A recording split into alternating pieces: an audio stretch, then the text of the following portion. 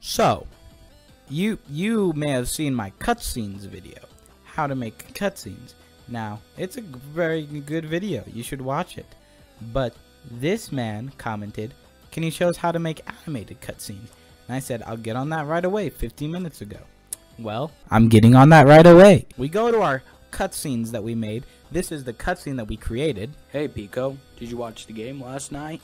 Yeah, Scratch Cat, that was a pretty ball balling game. And for some reason, you think that this is you just have a blank picture on the screen.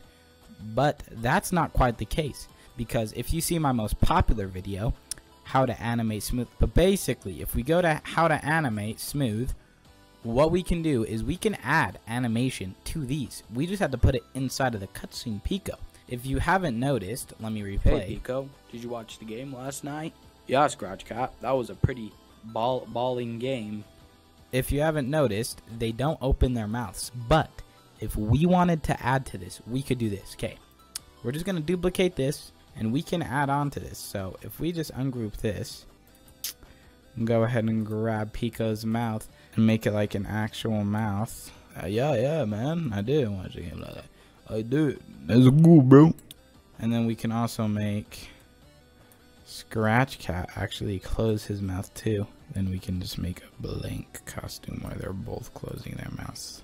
Okay, so now we have a lot of costumes, and so you can actually animate it by just putting all the costumes in here, doing the animation, animation script that I taught you.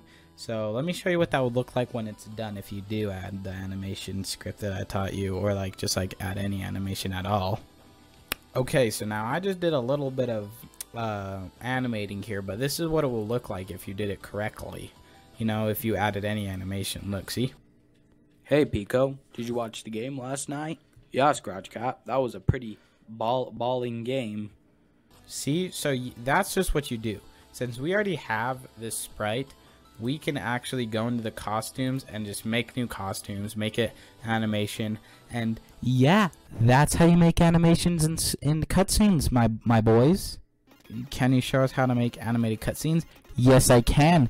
Blue Slime Gaming.